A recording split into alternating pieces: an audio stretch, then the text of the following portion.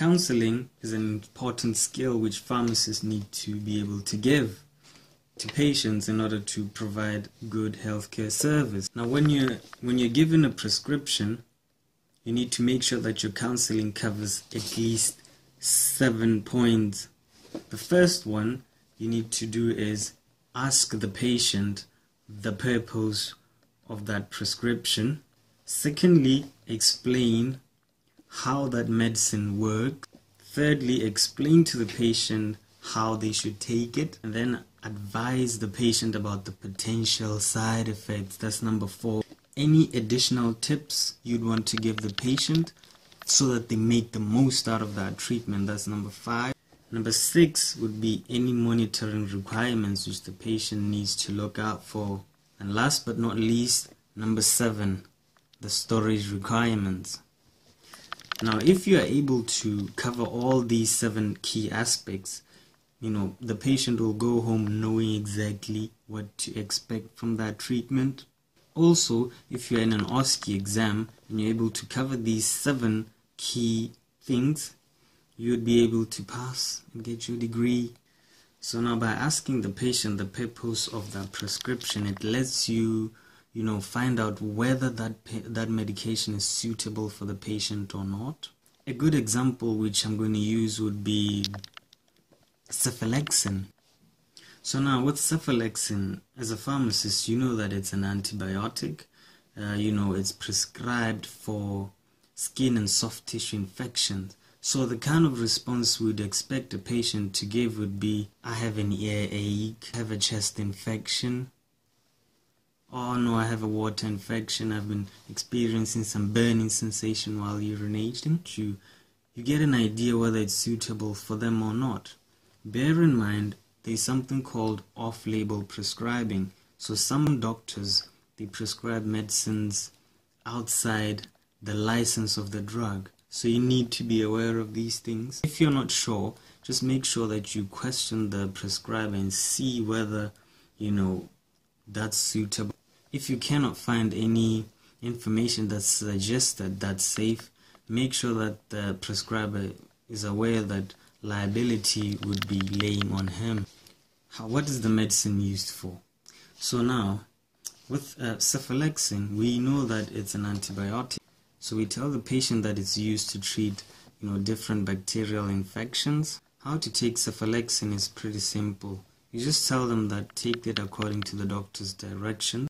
The potential side effect of cephalexin is just similar to amoxicillin. Now you need to be very careful when you advise about side effects.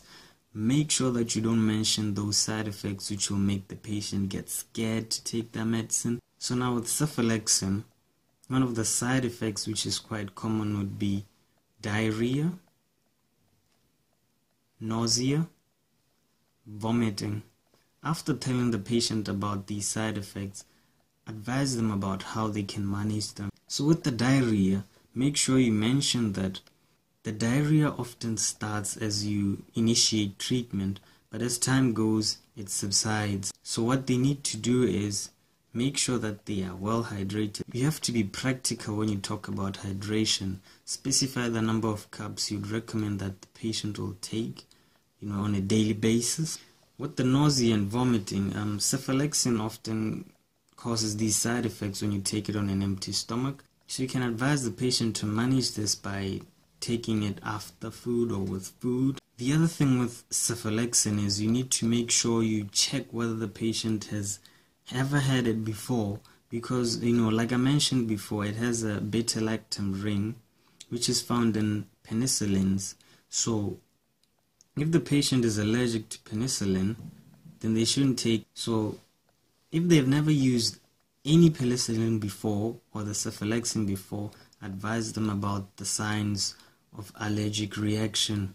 One would be swelling of the lips, swelling of the tongue, difficulty in breathing, intense itching which tends to sort of increase as time goes on. So when this happens, advise them that they need to stop treatment, then right away check the doctors and if they can't reach the doctors, rush to the hospital A&E department. After the potential side effects is the additional tips.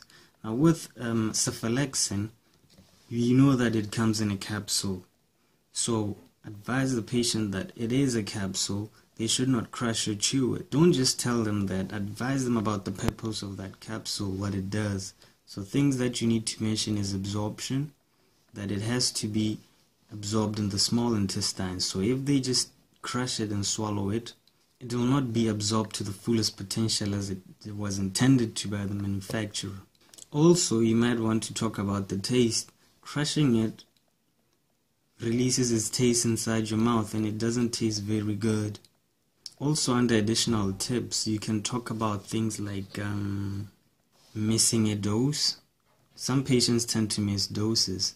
Advise them that if they miss a dose, they should just carry on taking as soon as they remember. If they are to take the cephalexin in about two hours from now, they shouldn't double dose. They should just take the dose from you know the next one and just carry on with the monitoring requirements for cephalexin there's not much to talk about apart from advising the patient to make sure that they finish the course it is an antibiotic so you need to make sure that the patient finishes the course even if they feel well.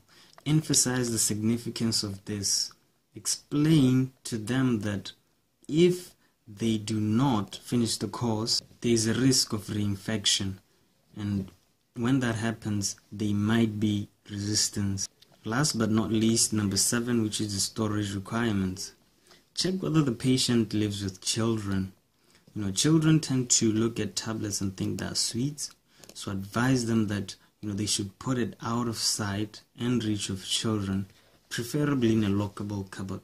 So now with all these you should be able to you know pass your OSCEs and if you're a pre-registration student your tutor is going to be very very impressed with you. Check understanding. This is very important make sure you check whether the patient understands anything or whether they have any questions. Some patients tend to forget. Ask them if it's okay if you wrote them some reminder in case they forget you know just a piece of paper or like a label and write down the key counseling tips. Hope you found that video useful. Subscribe below